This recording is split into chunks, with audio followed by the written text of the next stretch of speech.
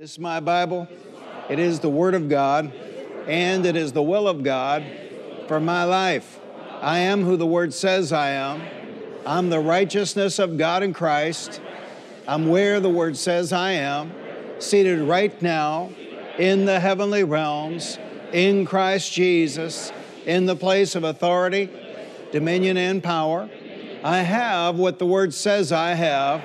All the blessings of Abraham are mine, and I can do what the Word says I can do. I can do all things through Christ who gives me the strength. Today, my mind is alert, my spirit is receptive. As I am taught the Word of God, my life is changed for the better, and I will never be the same again. Amen.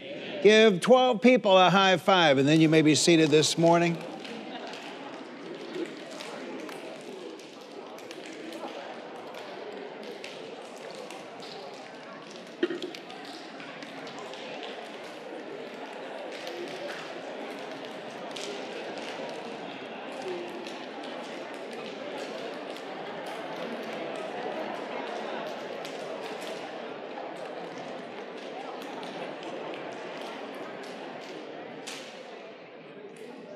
You may be seated. Pastor, why do you do that? Well, the devil doesn't like it.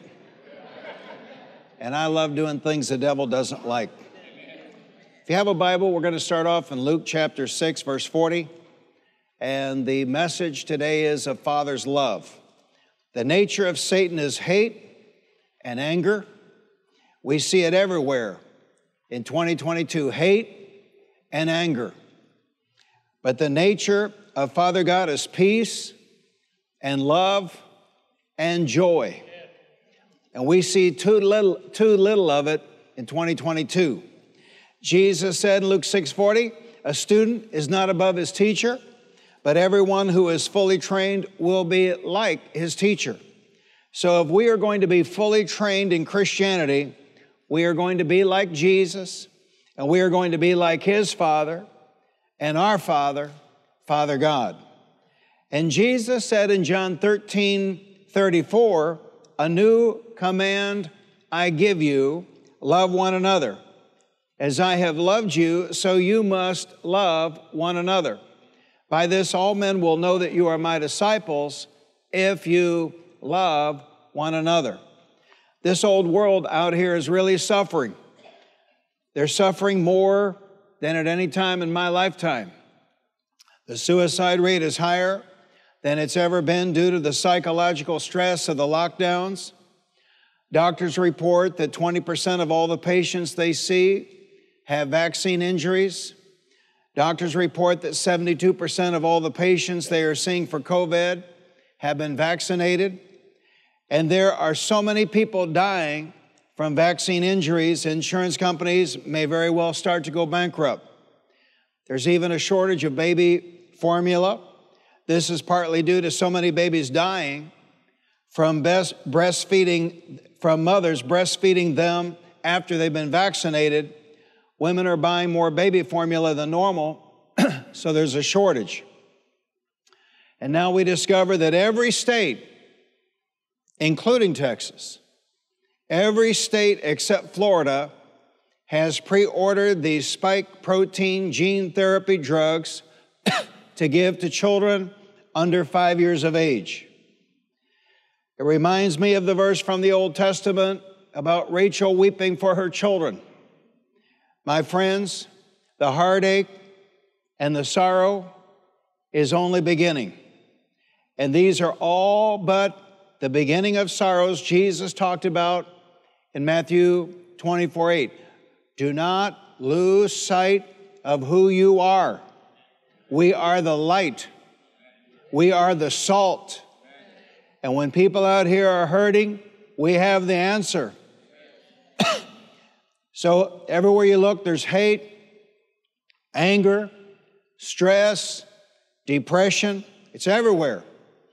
It's like we're living in Revelation 12 12 in real time. Therefore, rejoice, you heavens and you who dwell in them, but woe to the earth and the sea, because the devil has gone down to you. He is filled with fury because he knows his time is short. Hate, anger, stress, depression, it's everywhere. But we are to manifest the nature of our Father, Father God, which is peace and love and joy. Can I get an amen? Now we call 1 Corinthians 13 the love chapter, and it is to be regretted that the translators of the King James Version translated the Greek word agape, charity, when it is the word for love. God's kind of love or the God kind of love. The Bible says in 1 John 4 16, God is love. Whoever lives in love lives in God and God in him. And the Bible says in Romans 5 5, the love of God is shed abroad in our hearts by the Holy Ghost, which is given unto us. Now, before I get into this message, I'm going to make a hard statement. And if it bothers you, that's your problem, not mine. All of our trouble and our days being hell on earth instead of days of heaven upon the earth is our own making. All of our trouble and all of our days being hell on earth instead of days of heaven upon the earth is our own making. Because God said through Moses in Deuteronomy 11 26 to 28, See, I am setting before you today a blessing and a curse. The blessing if you obey the commands of the Lord your God, that I'm giving you today, the curse if you disobey the commands of the Lord your God and turn from the way that I command you today by following other gods which you have not known. And God said through Moses in Deuteronomy 30, verse 15, See, I set before you today life and prosperity, death and destruction. And God said through Moses in Deuteronomy 30, verses 19 and 20, This day I call heaven and earth as witnesses against you, that I have set before you life and death, blessings and curses. Now choose life, so that you and your children may live, and that you may love the Lord your God, listen to his voice, and hold fast to him, for the Lord is your life. So he says, Life and death blessings and curses. Now choose life so that you and your children may live. He says, Love the Lord your God. He says, Listen to his voice. He says, Hold fast to him, for the Lord is your life. The Lord is your life, not TikTok. The Lord is your life, not Instagram. The Lord is your life, not Facebook. The Lord is your life, not the TV. the Lord is your life. So you choose. I said, You choose. You get to choose. Now, which one do you want, the blessing or the curse? I said, Which one do you want, the blessing or the curse? Which one do you want, life or death? I said, Which one do you want, life or death? Which one do you want, days of heaven upon the earth or days of hell upon the earth? Proverbs 14 1 says, The wise woman builds her house, but with her own hands the foolish one tears hers down. But did you know men do the same thing? I said men do the same. I don't know how many men I've seen over these. I got, how long has it been? 49 years of preaching the gospel. And they had everything going for them and just tear it down. I mean, they had the job, they had the income, they had the house, they had the woman, they had the children, and just tear it down. So Proverbs says the wise woman builds her house, but with her own hands the foolish one tears hers down. But men do the exact same thing. The wise man builds his house, but with his own hands the foolish man tears his house down. You choose. You decide. You decide how you are going to live. You know, uh, one of the men in the church put a game cam at the back of our property. It's amazing. We think we're living in the city. Oh my gosh. We got a picture of a uh, bobcat. We got a picture of a mountain lion. I mean, it's pretty amazing. And, uh, and we got too many squirrels. I got to get back to taking care of that business. But, but all these critters, you know, we've had a problem with birds wanting to build a nest this spring where we didn't want them, and they just keep coming back, just keep coming back, just keep coming back. Squirrels just keep acting squirrely. what is it about this? Only man has been given the power to choose. This is an incredible gift of God. Amen. We choose how we think. We choose how we behave. We choose what we do. We decide how we live. This is an incredible gift.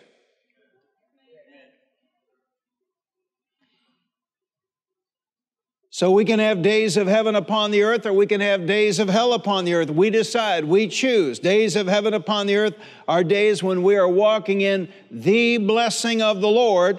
So let's go to 1 Corinthians 13, and today I'm going to read it from the Amplified Bible. I don't think in all my life I've done an entire message out of the Amplified Bible, but here we go. 1 Corinthians 13, 1, if I speak with the tongues of men and angels, but have not love, agape love, for others growing out of God's love for me, then I have become only a noisy gong or a clanging cymbal, just an annoying distraction. Now, the word for love all through this chapter is the Greek word agape, love, which is God's kind of love or the God kind of love. And when Paul was alive, there were four different words for love in usage in the Greek. Three of the four are in our New Testaments. The one that is not, the first one I'm going to explain is the word eros. We get the, word, the English word erotic from this Greek word eros. Eros was a Greek word used in Paul's day, but it is not in the New Testament. It doesn't have anything to do with Christianity. Why would it be in the New Testament? It refers to sexual love and probably derived its name from the mythical god of love. This love is erotic love. Eros is a love of passion, an overmastering passion that seizes and absorbs itself into the mind. It is a love that is an emotional involvement based on body chemistry. The basic idea of this love is self satisfaction and self gratification. Now, if you think this through, you'll realize that when this old world out here uses the word love, generally speaking, they're talking about eros self satisfaction, self gratification. The basic idea is to pleasure oneself. Eros is directed towards another. Though eros is directed toward another, towards another, it actually has the self in mind. This is the kind of love employed when a young man uses a young woman for self gratification and gets her to do what he wants by saying he loves her. He doesn't love her, he lusts her. Right, you young women need to wake up. I said, You young women need to wake up. Any, any young women here unmarried, born again? Let me see your hand. If you're unmarried and you're born again, well, I came down here. See, I got to say something to let you know daddy's back. You're not a toilet. You're a handmaiden of the Lord. And you deserve to be treated gently and kindly and with consideration. I always taught my daughter before she got married anybody that you go on a date with doesn't treat you as nice as me, dump them. kindness, courtesy. How about manners? Amen. This is eros love. The, another, a second word for love used in Paul's day was storge. Storge. This love has its basis in one's own nature. Storge is a natural affection or a natural obligation. It is a natural movement of the soul for a husband or wife or child or dog. It is a quiet, abiding feeling within a man that rests on something close to him and that he feels good about. Now, in the New Testament, storge appears in the noun or verb form with the prefix a, and therefore negates the love and means without this type of love. It is translated in Romans 1:31 and 2 Timothy 3 3 as unloving or in the King James as without natural affection. In Romans 12, 1210 storge is compounded with the Greek word phileo and is translated devoted or in the King James Version, kindly affectioned.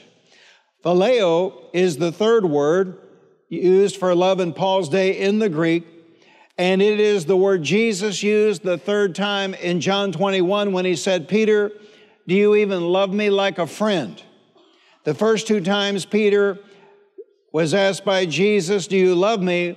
With agape love, the God kind of love. But the third time Jesus used the word phileo, Peter, do you even love me like a friend? We get the word Philadelphia from this Greek word, which means the city of brotherly love. But, but that doesn't mean anything. Don't go there. it's kind of not the brother, the city of brotherly love anymore. It's more like the city of murder or whatever. Agape is the fourth word in the Greek used in Paul's day for love. Agape is the God kind of love. Agape is self, selfless love. See, we use that word, or we mention that word eros. Eros is selfish love. Agape is selfless love. Agape is the Jesus kind of love. In Kenyon's writings, when you read his books, it can throw you a little bit because he talks about agape, which is the, pro, the plural of agape. Agape love, the God kind of love, makes the home beautiful. I mean, if the man loves his wife selflessly and the woman loves her husband selflessly and the, children, the, the parents love their children selflessly, it's a beautiful thing. It's a beautiful thing to behold.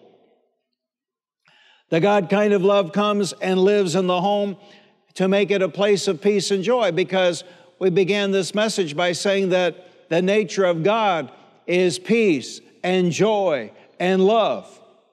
And listen, that's what our homes ought to be filled with. Our homes ought to be filled with peace and love and joy. Now, I realize, I realize you go out in the world, you know, you interact with the world, there's all kinds of things going around, going on out there. But I'm saying in our homes, our homes, we are in total control of what's going on in our homes.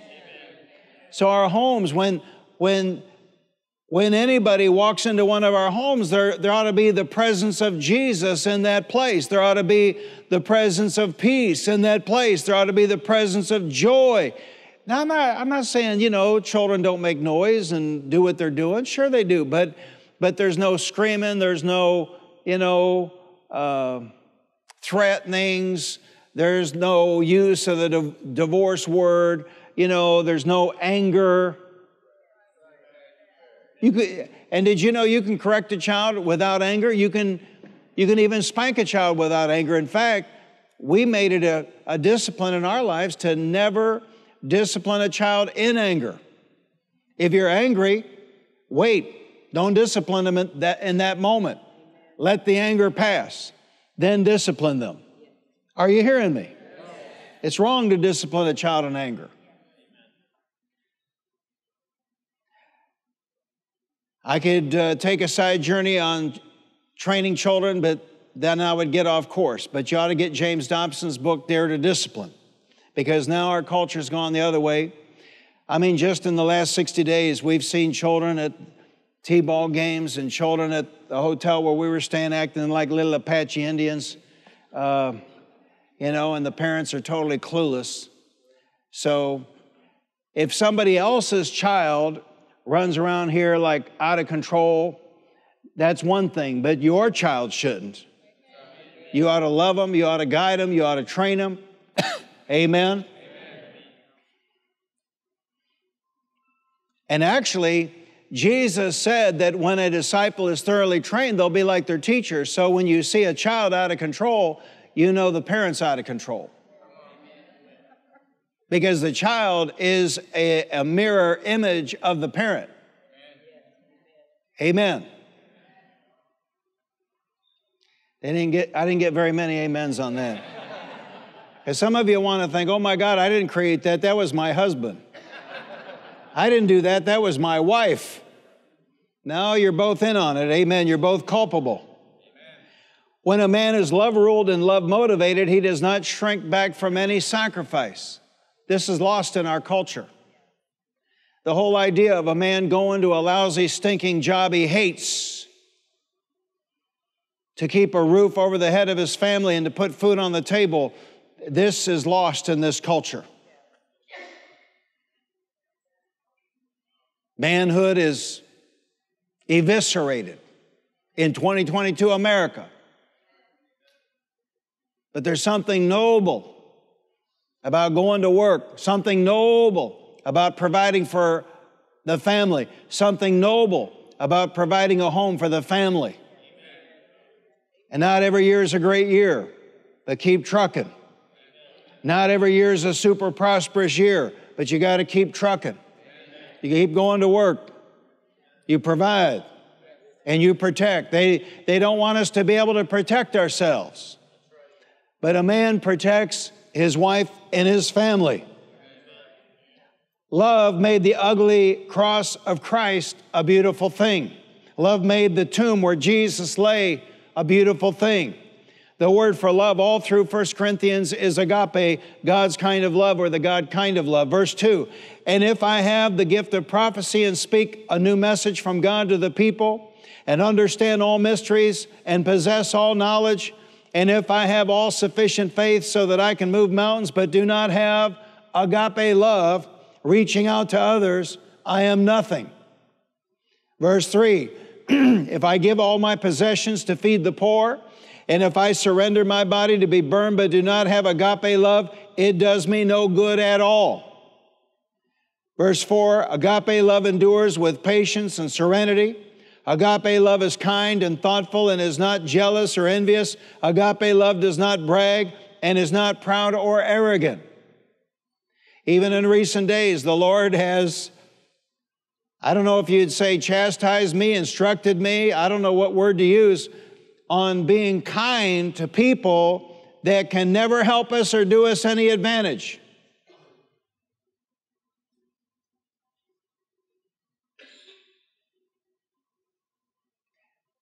We shouldn't just be kind to people we know. But even when we come across strangers, it ought to be Jesus in us it ought to be the Spirit of God in us. Hallelujah. Agape love endures with patience and serenity. A lot of people endure long. King James says endure long. A lot of people endure long. They're just not patient and kind while they do it. They endure long because they have to. But agape love endures long and is patient and kind while it is enduring long. And when you go out to eat after lunch and you're sitting in a restaurant on Father's Day and they take forever to bring you your drinks or to take your order, remember that. Amen. To endure long and to be patient and kind while you're doing it. Amen. Now, there's ways around these things. I remember Austin and I took a, uh, there was no quick way to get from Rome to Where's the Ferrari factory? Maranello. So we hired a driver in a car, and this guy, he was a hoot. And so we're in this Mercedes, and every so often he'd stop. I didn't realize, but in Italy, on these expressways, at every gas station, there's an espresso bar. And so he'd pull over and he'd get two espressos and then he'd drive faster.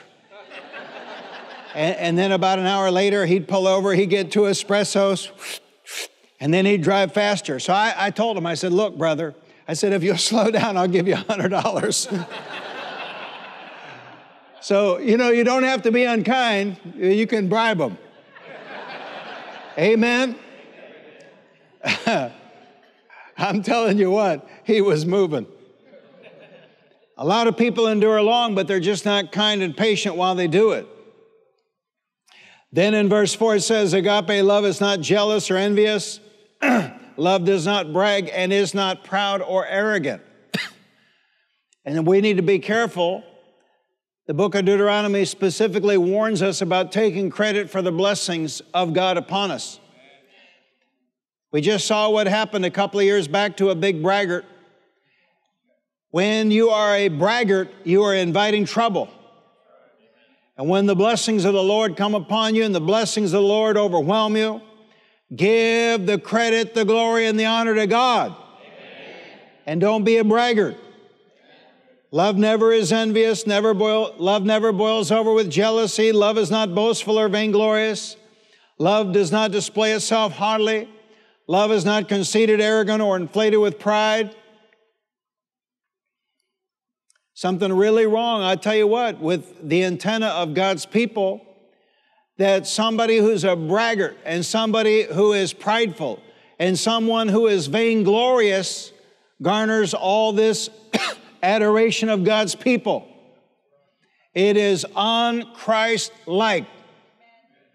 I mean, think about it. Jesus could raise the dead, but he didn't brag about it. Elijah and Elisha could raise the dead, but they didn't brag about it. We give the credit, the glory, and the honor to God. I, call, I used to call it up at I 30 deflect. When someone wants to brag on us, deflect the glory, the credit, and the honor to God. Give God the credit. If you'll do this, then you'll learn to, you'll, you'll be able to live in safety while you prosper. Verse 5 it, agape love is not rude, it is not self seeking, it is not provoked, nor overly sensitive and easily angered. It, agape love does not take into account a wrong endured.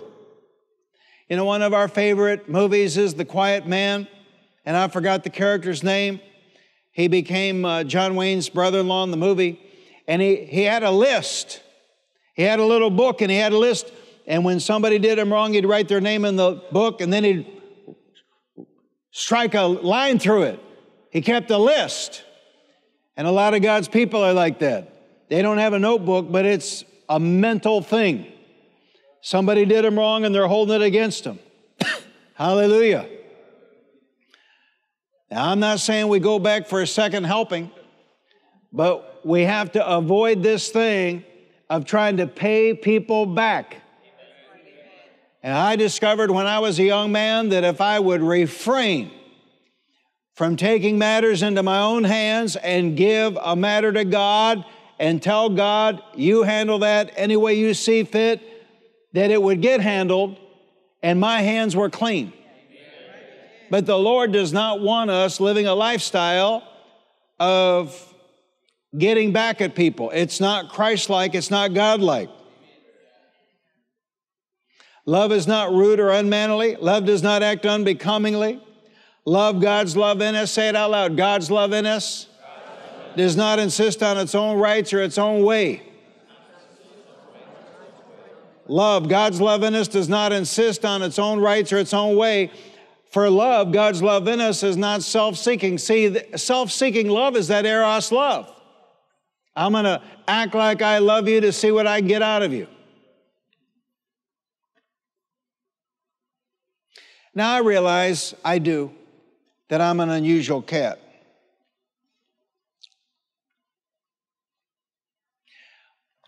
When my, uh, when my dad passed away, my mom was going to this church, and it was typical charismatic church. And uh, they had a pretty good crowd, but it didn't strike me as being sober. And so we're at the wake, and my mom, God bless her, she was, uh, she lived half, half her life in Fantasyland. And uh, so she kept telling me that, that he must have given his life to the Lord before he died. Well, I told her, I, I just try and help people as best I can and not be unkind, but yet deal in truth. And I said, Well, Mom, exactly how would he have done that if he died in a hotel room with some other woman? You know, I mean, where, where would the time be for him to repent and give his life to Jesus? My dad never carried less than $500 on him. I, I was with him once. He bought a washer and dryer cash. He never carried less than $500 on him. When the Kentucky State Trooper found him, he had $40 on them. So, what would that be like? See, that's why I just stay home with Pastor Sue. I mean, what would that be like? What would that be like? You're laying in bed, you're having a heart attack, and your last image is some woman going through your wallet fishing, and you're in, you're, you're in the throes of death.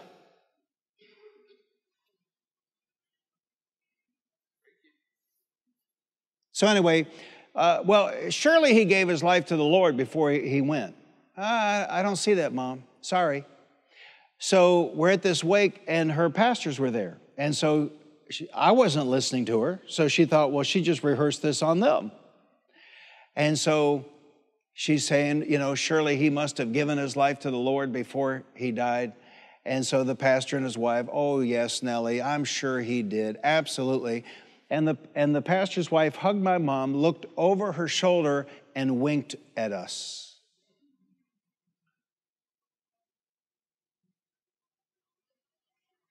See, that's not agape love. See, if I want to use you, I'll tell you what you want to hear.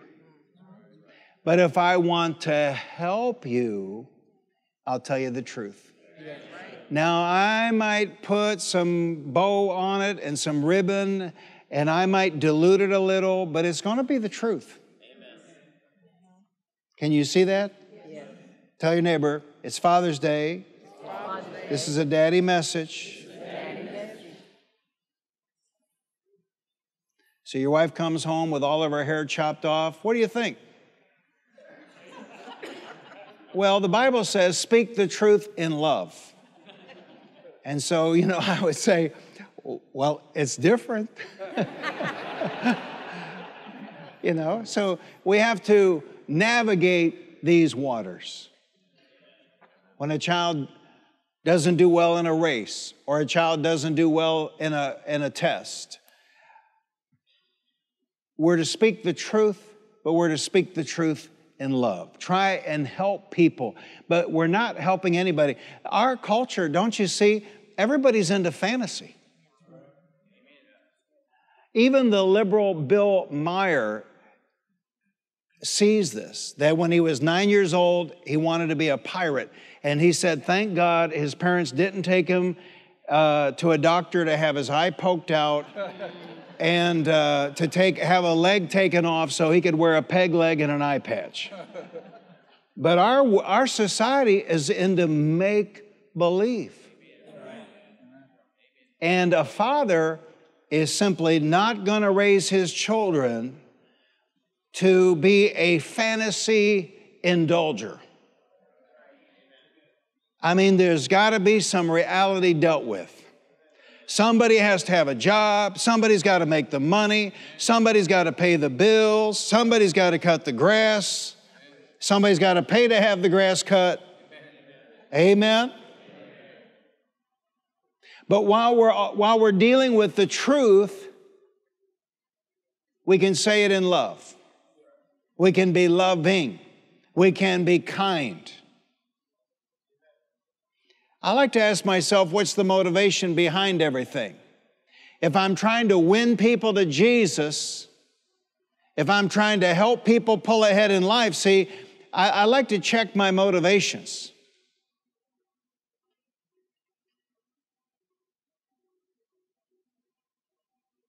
And you have no idea how blessed you are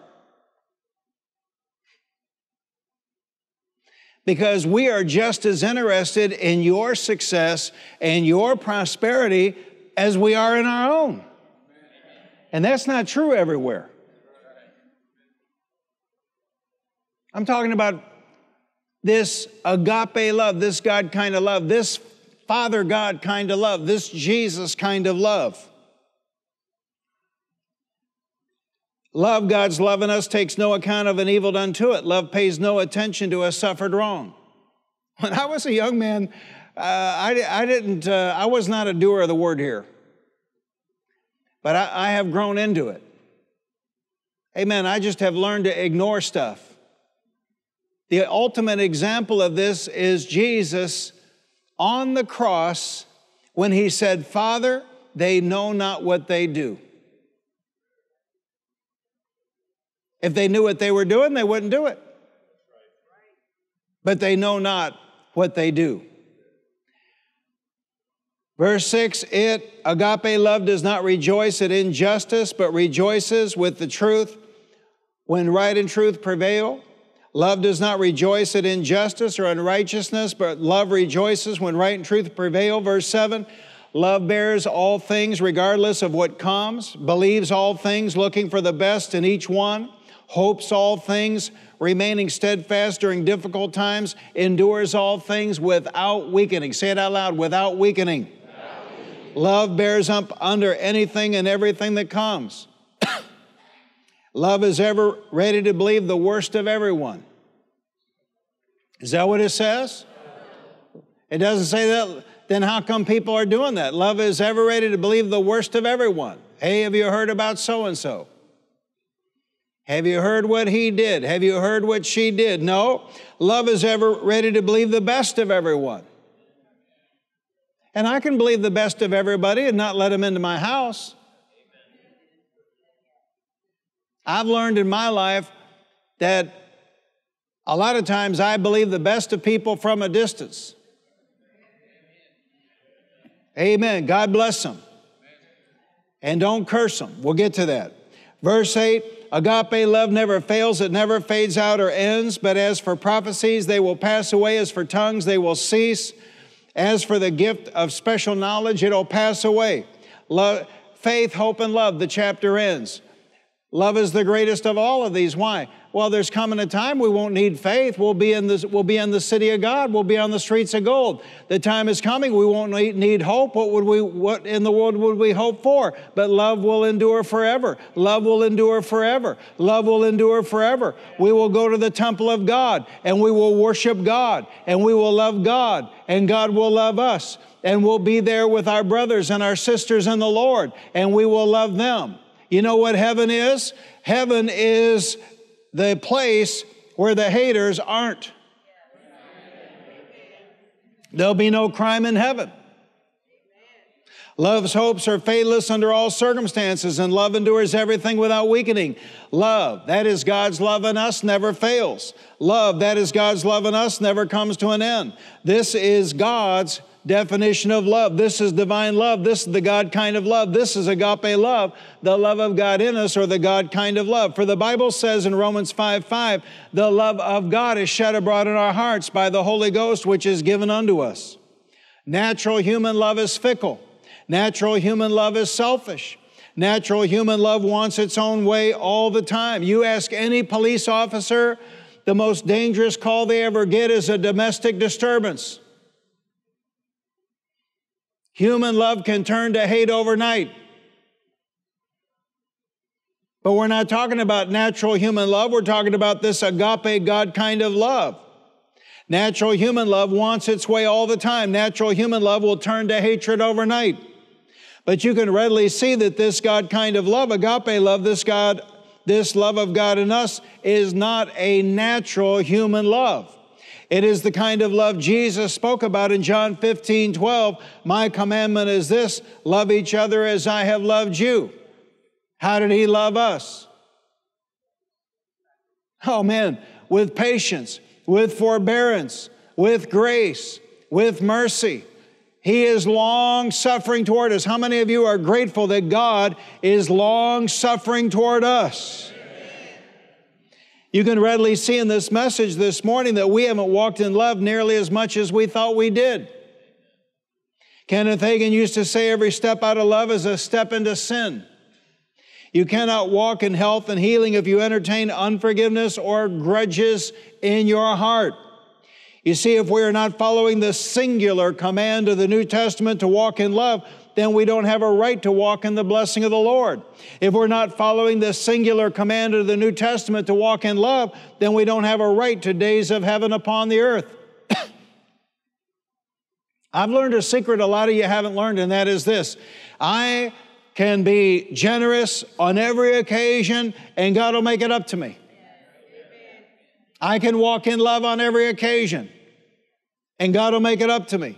If we are not following the singular command of the New Testament to walk in love, then we have created our own mess and we are walking in days of hell upon the earth, and it's our own doing. I said it's our own doing. We ought to believe the best of everyone. Shout it out loud. Love, Love. believes the best, believes the best of everyone. So you can readily see that if we're not walking in love, then we're not keeping Jesus' commandment of love. And I understand I do. Some people, you got to love them from a distance. You know, a relative texted my daughter about meeting up. She texted me, What do you think about that? I said, Well, sweetie, you, you do whatever you want to do, but I wouldn't do that. But I said, Bless them. Amen. Bless them. Amen. Some people you can love from a distance. Amen. And when they when it comes to your mind, even if they've done you wrong, just say, Father, bless them. I bless them in Jesus' name. If you do that, you keep your hands clean and you keep your heart clean, and you can go before the Lord and you're not condemned. Don't harbor grudges in your heart. Don't harbor unforgiveness in your heart. If you don't know what to say about somebody, say, God bless them. Hallelujah. Even, even this president, oh my gosh, what, what a train wreck. But oh my gosh, that wife he has. What wife would allow her husband to fall off bicycles, chase ice cream trucks, and be managed by the Easter Bunny for notoriety and fame and fortune and power? So, I can't believe I'm speaking kindly toward him. But he's got some real rascals around him. I mean, but that's that's natural human love is userdom. They use each other to get what they want. Agape love doesn't do that. Amen. Although I do understand chasing ice cream trucks. Jesus said in John 15, 12, My command is this love each other as I have loved you. And if we're not keeping his commandment to walk in love, then we don't have a right for our days to be days of heaven upon the earth. If we're not keeping this one New Testament commandment, Jesus' singular commandment, then we don't have a right to his blessings. A lot of people have trouble with this when it comes to money. I don't know about you, but I want to get over to where the blessing of the Lord comes out and I want to stay right there. I've always pictured it like a faucet. I want to get to where the blessing of the Lord comes out and I want to stay right there. And this just doesn't this doesn't just happen to lay people. Just in my lifetime, how many ministers have I seen fall because they refuse to walk in love. They refuse to stop talking about other ministers. They refuse to do right by other ministers and guest speakers financially. They refuse to honor their word and do what they said they would do financially. A man's word is his bond. Now, I'm not talking about a punk. A man's word is his bond. And when you give somebody your word, make it come to pass even if it hurts. That's what the Bible says. It'll teach you to not give your word willy nilly. A lot of people, a lot of lay people, even a lot of ministers have brought themselves under the curse unknowingly. A lot of people, a lot of lay people, a lot of ministers have brought themselves under the curse unknowingly, unconsciously. They didn't even know what they did to get themselves under the curse. Wake up and stay with the blessing. Tell your neighbor, wake up and stay with the blessing. and let's just decide right now to keep our mouths off God's people. Let's just decide right now to not rip off our brothers and sisters in Christ. Let's just decide right now to make our word come to pass to our brothers and sisters in Christ. We need to pray for people rather than talk about people. We need to bless other people in our prayer time and not talk about people. And I'll tell you right now, if you want to live in health, walk in health, if you want to live long on the earth and prosper, you will learn to keep your tongue from evil. Let me say that again. If you want to walk in health and if you want to live long on the earth and prosper, you will learn to keep your tongue from evil. 1 Peter 3:10 for he that will love life and see good days let him refrain his tongue from evil and his lips that they speak no guile. This is from Psalm 34, 12 to 14. Whoever of you desires life and desires to see many good days, keep your tongue from evil and your lips from speaking lies. Turn from evil and do good. Seek peace and pursue it. Say it out loud. God, love, God's love is in us. Say it again. Love, God's love is in us. You know why we don't let it out? Fear. This person did me wrong. If I'm, if I'm kind to them, they'll do me wrong again. This person didn't do a good job. If I'm generous with them, they'll take advantage of me again. Listen, I have learned a great lesson, and there are people here, and you need to learn this lesson that whatever I turn loose of financially to be a blessing to somebody else, my great Father God makes it up to me. And even if I make a mistake in generosity, God still makes it up to me. Hallelujah. You know, I, I was uh, horrified. I was appalled. Tiff Shuttlesworth spent his whole life preaching the gospel all over the world. And when he came here on a Sunday morning, his offering was bigger on a Sunday morning, just a Sunday morning, than any offering he'd ever received anywhere. He told us a story, I won't mention the name of the place. He spoke there from Sunday to Wednesday night. Thousands of people, thousands of people, thousands of people, multiple services on Sunday. And the pastor took an offering for him every service. And when he was done, pastor gave him $400. People, lay people, God's ministers, they bring themselves under a curse. Listen, if you if you don't want to live under the curse, don't mishandle money. And don't lie to people, and don't lie to people about money. Tell them I'm going to do thus and so, and then not do it. Make your word come to pass. See, this is not a boy's message, this is a Father's Day message. You know, I took a group, I think it was 14 guys skiing. We were there the whole week, Jackson Hole. We did a men's retreat. There was another pastor on the same jet, and uh, we get to uh, Jackson Hole, Wyoming. We're waiting on the luggage, and this pastor meanders over and he says, What do you got going here? I said, Well, it's a men's retreat. I think there were 14 guys. He said, Well, how many days are you here? I said, We're here all week. He said, Well, isn't that kind of expensive? You know, this is not Colorado, this is Jackson Hole. You're here all week. I said, Look, brother, this is not a boys' retreat, this is a men's retreat.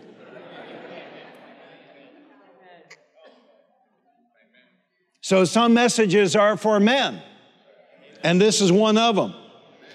Say it out loud the love of God is shed abroad in our hearts. But see, you got to let the love of God out because your, your natural human self will want you spit on me and I'll spit on you. Your natural human self will want to pay people back. Love God's love in us is ever ready to believe the best of every person. Verse 9, for we know in part, we prophesy in part, for our knowledge is fragmentary and incomplete. Verse 10, but when that which is complete and perfect comes, that which is incomplete and partial will pass away. Verse 11, when I was a child, I talked like a child, I thought like a child, I reasoned like a child. When I became a man, I did away with childish things. You just can't live like a child, like it's all about you, and be upset and throw a tantrum because your ice cream cone fell out of the cone, your ice cream fell out of the cone. You know, I've got seven grandchildren, and it's interesting watching them. They're all these different ages, and they all they're all at different stages of development. They're children, they're children, they're children. But when you are grown up, you ought to stop acting like a child. The whole world is not about how about not about you. And let me tell you what, pop psychology, humanist psychology has just wrecked Western civilization because I got some news for you also. Life is not about how you feel. God, I, I, have walked with this God 61 years and prayed to Him, and not one time has He ever asked me how I felt. Not one time. So apparently He's not interested.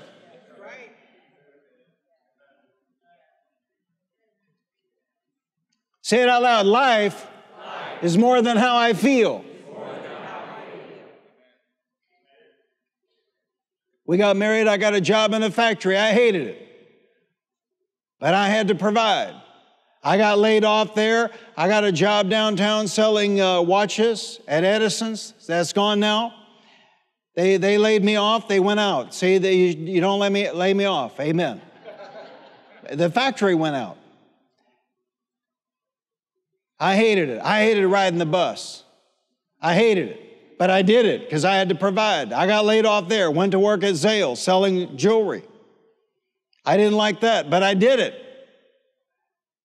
I'm sure when Sue worked at Penney, she didn't like that. When she worked at Paxton Lumber Company, she didn't like that. You do what you got to do. You change those diapers, and oh my gosh, can they smell?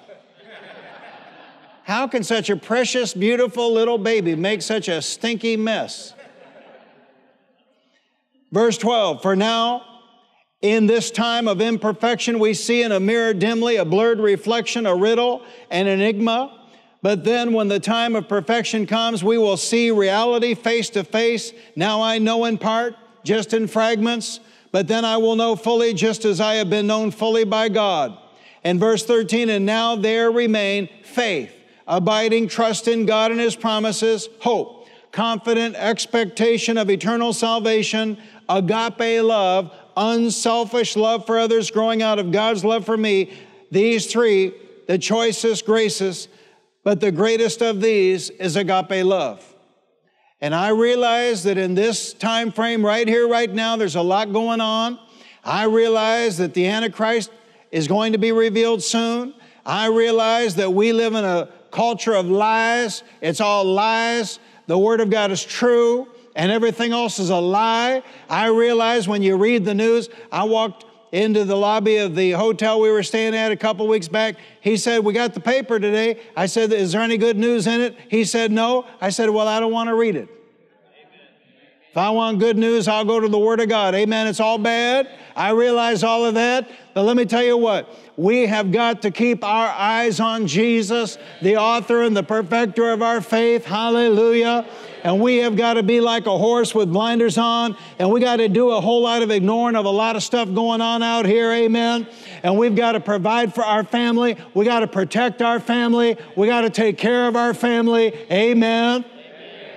We got to protect our children. We got to provide for our children. We got to lead them, guide them, train them in the admonition of the Lord. Amen. And don't trust your family to anybody, and don't trust your children.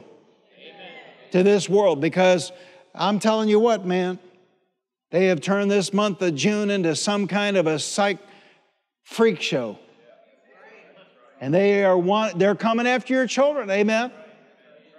And so we have to make that money, got to provide for our wife, got to provide for our children, got to protect the wife, got to protect the children. Amen? Amen. I got these cute pictures from Tech, Christina, her, her and the girls at a fair. And I said, Well, isn't that the county fair that you're not allowed to go to? My son in law is the assistant chief of police in Ozark, Missouri. And when they first got married, Sue wanted to go. Christina wanted to go to the county fair. He said, you, you can't go to the county fair. He said, I arrested half of those people. And, uh, and so, but so now, now she's texting me pictures. I said, Isn't that county fair you're not allowed to go to? She said, Yeah. But she said it's different now because the police have a tent, and Derek says I can go if, if me and the girl stay in the tent.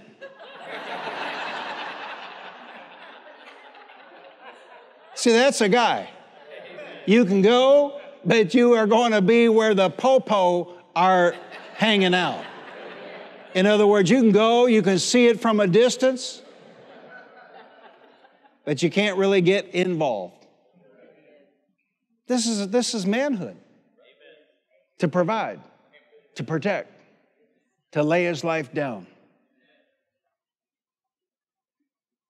I completely don't understand what happened in Uvalde, Texas. If I had been there myself, I'd have rushed in and I'm just a preacher. I do not understand what has happened to manhood, womanhood, and childhood in these United States. But here at Faith Christian Center, we're just staying with the Bible, doing it the Bible way. Hallelujah. Hallelujah. Hallelujah. Men are men, women are women, children are children. Children aren't to be messed with. Amen. They deserve every day as a child because they're going to have enough time to deal with adult stuff later on. Why don't we stand? Everybody standing, I want to give an opportunity for you to make your commitments and decisions for the Lord this morning. Now, I realize this is a different kind of a message, but you know, it's Father's Day, and we want to bring a message that might be meat for men, not Captain Crunch for weirdos. Let's bow our heads. I want to, I want to win some men to Jesus right here. Men. there are men here this morning, and you, are kind of rough. You know, you're kind of like rough around the edges. And Satan has told you that Christianity isn't for you. But I'll tell you, I got some, I got some rough dudes in this church. And they may be rough and they may be rugged. And they, they, I, I'll tell you, there, there are some dangerous people here this morning. But they got saved, they got born again. I want you to know you can be a man and a Christian simultaneously. Let me run that by again. You can be a man and a Christian simultaneously. Simultaneously. You don't have to act like a girl to be a Christian. I dare anybody to endure what Jesus endured on that cross. That was an act of manhood. You may be here this morning and you're not saved, you're not born again, you're not living for God. Now, you've been around church, you've been in church, you got maybe you got your name on a roll somewhere, but that doesn't make you a Christian. Jesus said in John 3, You must be born again. He said in Revelation 3, Behold, I stand at the door and knock. If anyone hears my voice and opens the door, I will come in and fellowship with him and he with me. If you have not prayed this prayer, I want to give you that opportunity right now. If you have not made Jesus Christ your Lord and your Savior personally and individually, if you have not confessed your sins to Father God and ask His forgiveness in the name of Jesus, I want to give you that opportunity right now to be saved, to be born again. Because, brothers, the days are short. We are right at the precipice of the consummation of the ages. Anybody with any common sense sees it. Things are not going to go on the way they're going. Women, youngsters can get on, in on this invitation, but it's Father's Day, so I'm talking to the men. But if you're here this morning and you've never made Jesus Christ the Lord and the Savior of your life, individually and personally, and you'd like to do so this morning and you'd like to be included in this prayer, I want you to lift a hand up, lift it up high enough to where I can see it. Pastor, I want to be saved. I want to be born again. Pray for me. I want, I want to enter into this covenant of love with Father God. If that's you this morning, wherever you are, lift a hand up. Lift it up high enough to where I can see it. There may be others here this morning. You're backslidden. You're not living for the Lord like you know you should. You're not living for the Lord like you once did. Since you gave your life to Jesus, some way, somehow, you've allowed the pleasures of this world or old relationships or old connections to pull you back into the former lifestyle and you're not living for the Lord like you once did. The word says in 1 John 1 9, if we confess our sins, he is faithful and just to forgive us of our sins and to cleanse us from all unrighteousness. How many this morning would say, Pastor, that's me, pray for me, I'm backslidden. I'm away from God, but I don't want to remain in a backslidden condition. If that's you this morning, wherever you are, lift a hand up, lift it up high enough to where I can see it. We're going to pray. Well, Father, I thank you for your word. It is an incorruptible seed. It has gone forth into the hearts of the hearers, and it will not return to you empty or void, but will accomplish what you desire and achieve the purpose for which you've sent it. I want to speak to those that may be watching online. You can pray this prayer. In fact, everybody in the room, let's pray this prayer out loud together for the sake of those online. Say it out loud Father God, I give you my life. In times gone by, I've gone my own way, I've lived for self, I've done my own thing. But I turn and I repent from that old way of living and I give you my life. I believe in my heart that Father God raised Jesus from the dead, and I confess with my mouth Jesus is Lord. And I thank you, Father God, for forgiving me, receiving me, not rejecting me, but receiving me into your family. It's in Jesus' name I pray. Amen. If you prayed that prayer, you can write to us at you can go to fccarlington.com slash salvation and let us know about your commitment and decision. We'd love to send you a Bible and my book, God's Very Own Child, to be a blessing to you. Hallelujah. Why don't we lift our hands and say, Thank you, Father God, because you loved us selflessly, not for what you could get out of us, but you wanted a relationship with us and it is glorious. It is marvelous. It is wonderful in our eyes. Hallelujah. Well, give the Lord a shout of victory. Amen. Hallelujah.